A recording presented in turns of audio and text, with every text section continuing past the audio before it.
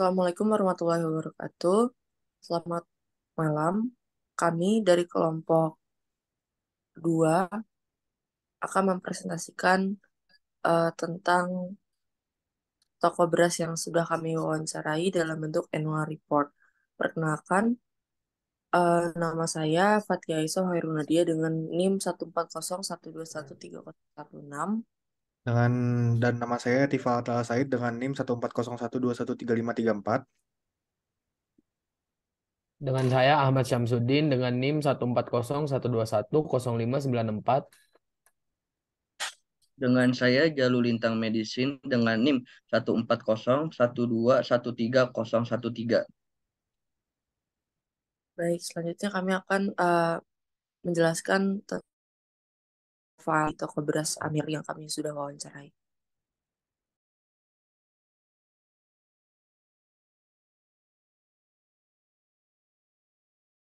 Next.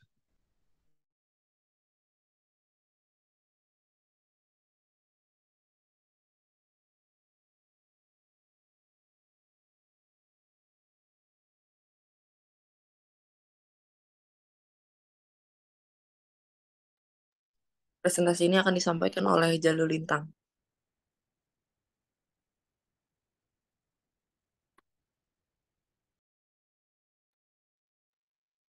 Uh, Oke, okay, selanjutnya toko beras Amir sesuai namanya. Toko ini dimiliki oleh Bapak Amir selaku pemilik tunggal toko beras. Toko beras Amir berada di Pasar Bogor, lantai 1 Kota Bogor. Toko beras Amir sudah berdiri terhitung 15 tahun semenjak tahun 2008. Jenis-jenis beras yang dijual di toko beras ini cukup beragam, dari beras biasa hingga beras berkualitas atau beras organik. Pak Amir tidak memiliki lahan pertanian sendiri, melainkan menjadi distributor atau tangan kedua dari pabrik beras yang bertempat di Jonggol, Jawa Barat. Pemilik toko beras ini pun hanya berfokus pada satu toko saja, tidak memiliki toko lain atau usaha lain ia kerap fokus mendistribusikan hasil alam ini.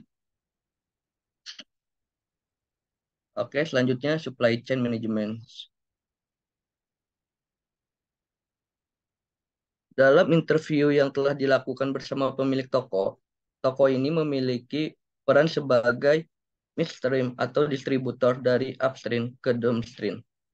Sedangkan pihak-pihak lain yang terlibat dalam SCM di toko beras Pak Amir antara lain upstream, pabrik beras yang bertempatan di Jonggol, Jawa Barat, downstream, pedagang grosir dan eceran. Terkadang Pak Amir harus mencari pihak lain yang akan dia jadikan sumber pasokan beras bagi tokonya jika toko biasanya tidak dapat memenuhi kuantitas permintaan dari toko beras Pak Amir. Kendala tersebut dapat berupa gagal panen, hama yang menyerang, sawah menyerang sawah, cuaca, dan lain-lainnya.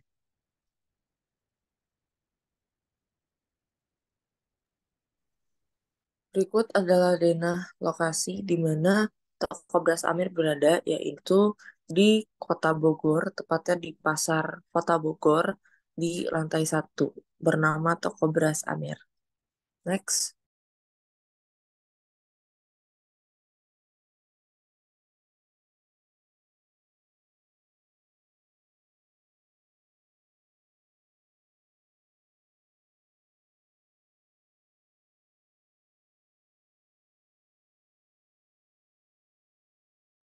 Oke, berikutnya uh, supply chain management uh, faktornya jadi uh, terbagi jadi dua. Yang pertama ada pendorong dan yang kedua ada penghambat. Uh, untuk faktor pendorong dari pasokan beras antara lainnya itu yang pertama ada stok beras, kedua konsumsi beras, ketiga permintaan dan keempat itu harga beras. Untuk faktor penghambatnya itu yang pertama ada gagal panen, Terus uh, cuaca dan yang terakhir itu permintaan tidak terprediksi. Oke, okay, next. Uh, untuk kosnya itu toko beras Pak Amir menjual satu karung beras berisi 20 kilo bervariasi mulai dari harga 250 hingga 500 ribu dan pada satu hari Pak Amir menjual 20 ton beras konsisten setiap bulan. Terus untuk surplusnya itu Pak Pak Amir mengambil keuntungan minimal 20.000 dan maksimal 50.000 tiap satu karung beras 20 kilo. Dalam perhitungan ini Pak Amir sudah mendapatkan paling sedikit 20 juta per bulan atau maksimal 50 juta per bulan. Oke, untuk selanjutnya di sini saya akan membahas mengenai strategi cost yang dilakukan yang dilakukan oleh Pak Amir. Oke, mungkin untuk biaya yang dihemat oleh Pak Amir dalam mengolah toko beras itu ya yaitu eh, mengurangi biaya operasional, memaksimalkan tenaga kerja yang di, yang bekerja pada toko, membeli persediaan beras dengan kuantitas yang lebih banyak sehingga akan lebih murah, dan selanjutnya membeli langsung dari pabrik beras utama yaitu langsung ke upstream. Jadi dia bisa ngangkat uh, harga supply chain-nya. Oke, boleh next. Oke, ini untuk mungkin untuk strategi untuk menghindari kelangkaan. Uh, jadi untuk strateginya dalam mengoperasikan dan mengelola toko berasnya, Pak Amir memiliki strategi tersendiri untuk mempertahankan toko berasnya hingga kini sudah berusia kurang lebih 15 tahun. Strategi tersebut antara lain selalu menjaga ketersediaan toko beras, menjaga kepercayaan konsumen terhadap tokonya, riset harga pasar pada saat sedang naik atau turunnya harga. Yang terakhir selalu menjaga kualitas beras pada penyimpanan yang dikelola. Oke, untuk mungkin untuk selanjutnya ada strategi jangka pendek untuk menghindari kelangkaan beras.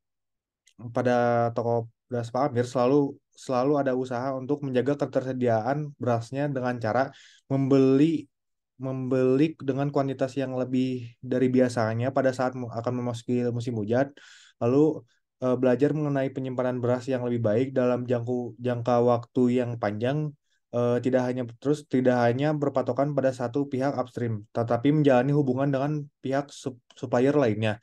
Lalu yang terakhir ada selalu memiliki substitusi ketersediaan beras dari toko. Baik, sekian presentasi yang sudah disampaikan oleh kami kelompok Overpower. Terima kasih uh, atas waktunya. Terima kasih kepada Ibu Maya juga sudah bersedia untuk menonton. Assalamualaikum warahmatullahi wabarakatuh.